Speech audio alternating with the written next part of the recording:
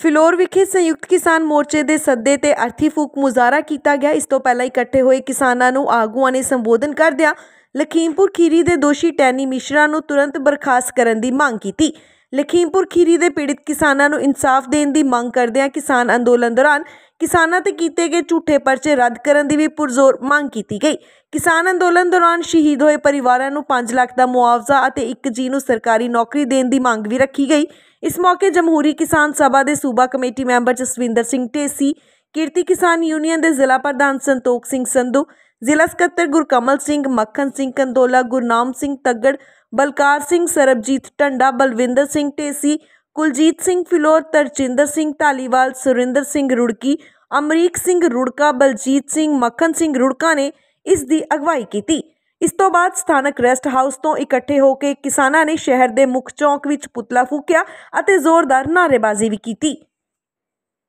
ਅੱਜ ਸੰਯੁਕਤ ਕਿਸਾਨ ਮੋਰਚੇ ਦੀ ਕਾਲ ਦੇ ਉੱਤੇ ਪੂਰੇ ਭਾਰਤ ਦੇ ਅੰਦਰ ਤੇ ਪੰਜਾਬ ਵਿੱਚ ਵੀ ਜਿਹੜੇ ਆ, ਜਿਹੜਾ ਲਖੀਮਪੁਰ ਖੀਰੀ ਸਾਡੇ ਚਾਰ ਕਿਸਾਨ ਸ਼ਹੀਦ ਤੇ ਇੱਕ ਪੱਤਰਕਾਰ ਭਾਈ ਹੋਇਆ ਸੀ, ਜਿੱਥੇ ਉਹਨਾਂ ਨੂੰ ਯਾਦ ਕਰਨ ਲਈ ਅੱਜ ਤੇ ਨਾਲੇ ਹੀ ਮੋਦੀ ਸਰਕਾਰ ਦਾ ਵਿਰੋਧ ਕਰਨ ਲਈ ਪੂਰੇ ਭਾਰਤ ਦੇ ਅੰਦਰ ਜਿਹੜੇ ਆ, ਮੋਦੀ ਸਰਕਾਰ ਦੇ ਜਿਹੜੇ ਆ, ਉਹ ਪੁਤਲੇ ਫੁੱਕੇ ਜਾ ਰਹੇ ਆ ਤੇ ਅੱਜ ਅਸੀਂ ਵੀ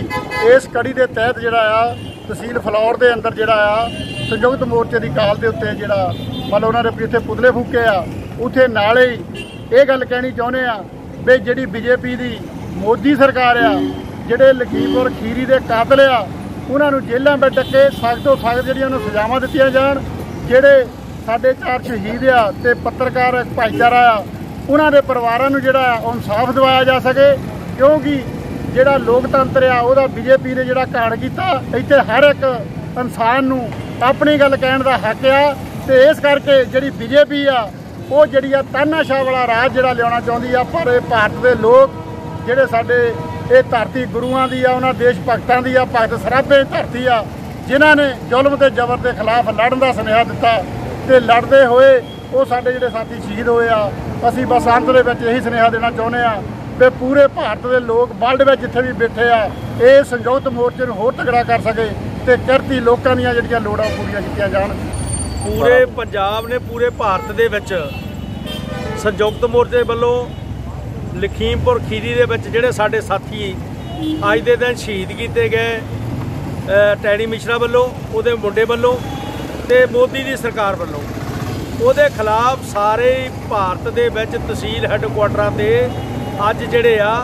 ਉਹ ਪ੍ਰੋਟੈਸਟ ਹੋ ਰਿਹਾ ਤੇ ਅਰਥੀਆਂ ਸਾੜੀਆਂ ਜਾ ਰਹੀਆਂ ਮੋਦੀ ਦੀਆਂ।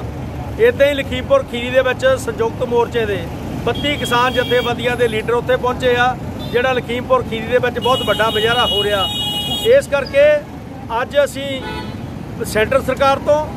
ਔਰ ਜਿਹੜਾ ਇਹ ਮੰਗ ਕਰਦੇ ਆ ਵੀ ਜਿਹੜਾ ਉਹ ਟੈਣੀ ਮਿਸ਼ਰਾ ਆ, ਜਿਹਨੇ ਕਿਸਾਨਾਂ ਮਜ਼ਦੂਰਾਂ ਦੇ ਉੱਤੇ ਗੱਡੀ ਚੜਾਈ ਆ, ਉਸ ਬੰਦੇ ਨੂੰ ਫੜ ਕੇ ਜਿਹੜਾ ਅੰਦਰ ਕੀਤਾ ਜਾਵੇ, ਜਿਹੜੇ ਨੌਜਵਾਨ ਸਾਡੇ ਫੜੇ ਆ, ਉਹਨਾਂ ਨੂੰ ਰਿਹਾ ਕੀਤਾ ਜਾਵੇ। ਇਸ ਕਰਕੇ ਮਤਲਬ ਅੱਜ ਜਿਹੜੀ ਆ, ਅੱਜ ਸੈਂਟਰ ਸਰਕਾਰ ਦੇ ਖਿਲਾਫ ਸੰਯੁਕਤ ਮੋਰਚੇ ਵੱਲੋਂ ਪੂਰੇ ਭਾਰਤ ਦੇ ਵਿੱਚ ਜਿਹੜੇ ਆ ਪ੍ਰੋਟੈਸਟ ਕੀਤੇ ਜਾ ਰਹੇ ਆ। ਸੋ ਅੱਜ ਅਸੀਂ ਤੁਹਾਨੂੰ ਮੀਡੀਆ ਵਾਲਿਆਂ ਸਾਥੀਆਂ ਨੂੰ ਬੇਨਤੀ ਕਰਦੇ ਆ ਕਿ ਸਾਡੀ ਗੱਲ ਵੱਧ ਤੋਂ ਵੱਧ ਲੋਕਾਂ 'ਚ ਲੈ ਕੇ ਜਾਓ।